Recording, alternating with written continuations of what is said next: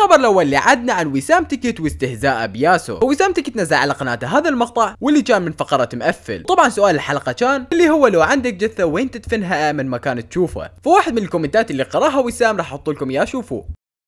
قال بحطوا حد اللي كانت تتصور معكم. اثنين ميتين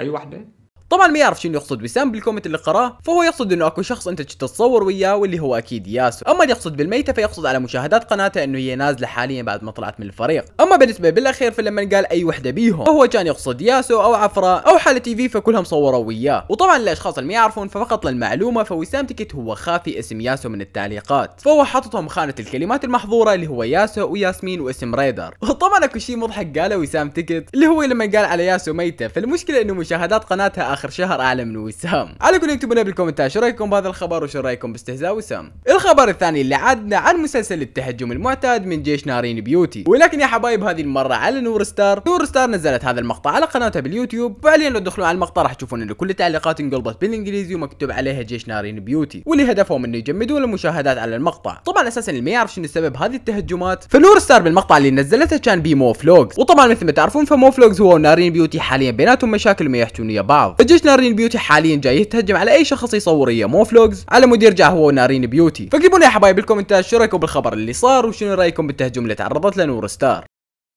الخبر الثالث اللي عدنا عن سيدرا بيوتي وشيرين بيوتي وسفرهم لدبي فنارين بيوتي نزلت على حسابها بالإنستغرام هذا ال story اللي أعلنت من خلاله عن سفر أخواتها لدبي فكانت كاتبة بال story البنات جايين على دبي كيف فيني أغير عنواني. ولكن للأسف ما حددت وقت راح يوصلون أو وقت الموعد يعني. المهم الله يوصلهم بالسلامة وأكيد منتظرين المقاطع الخرافية اللي راح يصوروها ويا بعض. الخبر الرابع اللي عدنا عن مفاجآت ال YouTuber. فأول YouTuber اللي عدنا هي بيسان وأنس الشايب. فبيسان نزلت على حسابها بالإنستغرام هذا ال story اللي تعتذر به من المتابعين على تقصيرهم تنزيل المقاطع. ولكن بنفس الوقت أعلنوا عن تحضيرهم لمفاجآت خرافية راح تنزل. راح أحط لكم ال story شوفوا